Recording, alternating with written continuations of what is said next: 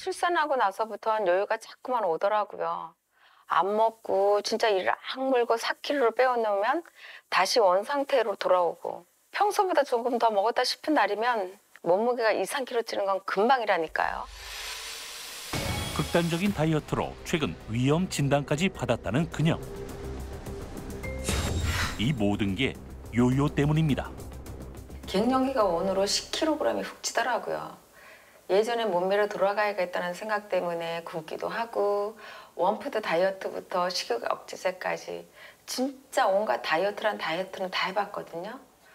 근데 살이 잠깐 빠지는 듯 하더니 일주일도 안 지나서 몸무게가 그대로 돌아오더라고요.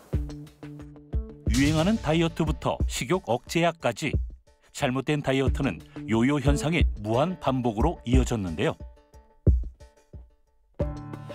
문제는 요요가 반복될수록 악화되는 건강. 최근에는 일상생활에서도 신호가 나타나기 시작했답니다. 집안일을 하면서도 불편감을 느낀다는데요. 손과 다리를 한참이나 주무르는 그녀. 아우 제가 나쁜 콜레스테롤 수치가 좀 높은 편인데요. 그것 때문인지 조금만 움직여도 손발이 저리고 또 쉽게 피곤해지네요. 요요가 불러온 혈관 질환, 고지혈증은 물론 당뇨까지 찾아왔다고요.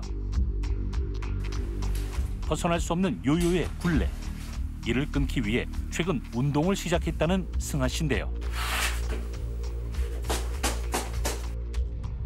막상 운동에 나섰지만 얼마 걷지 않았는데 점점 느려지는 속도. 어디 아픈 곳이라도 있으세요? 사실은 제가 좀 관절통이 있거든요. 그 조금만 걸으면 무릎도 아프고 허리도 아프고 운동하기가 너무 힘들어요. 설상가상, 복부 비만, 위염, 혈관 질환에 이어 관절통까지 찾아온 상황. 날이 갈수록 악화되는 건강에 승아 씨는 살아갈 날들이 걱정이랍니다. 가볍게 본 요요가 전신 건강을 망친 것 같아요. 다이어트란 다이어트는 다 해봤지만 살은 빠지지도 않고 여기서 상태가 더 나빠지지 않을까 걱정이 되네요. 무슨 방법이 없을까요? 네, 저희가 그간 알짜왕에서 많은 사연을 접했지만 이렇게 안타까운 마음이 들었던 건 처음인 것 같습니다. 이 알짜왕의 문을 두드리신 만큼 확실한 해결책을 드려야 될 것 같은데요.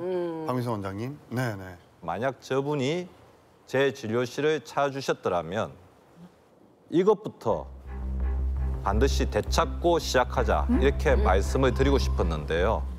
가장 기본적이면서도 가장 핵심적이라고 할 수 있는 이것의 정체는 바로 장 건강입니다. 장 건강입니다.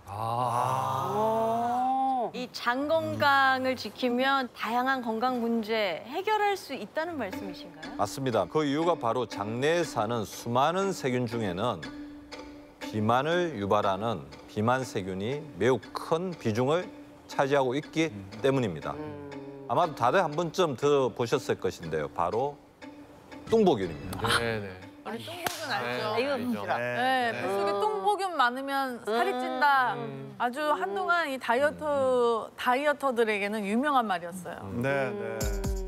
뚱보균은 우리 몸속에 들어온 당분의 발효를 촉진시켜 쉽게 칼로리로 삭게 하고 지방을 과도하게 생성해서 지방 세포를 축적하는 역할을 하거든요. 미국 워싱턴 대학에서 비만인과 날씬한 사람의 대변 세균을 비교한 부위가 비만인의 대변 속 유해균이 대조균에 비해 20%더 많았다고 합니다.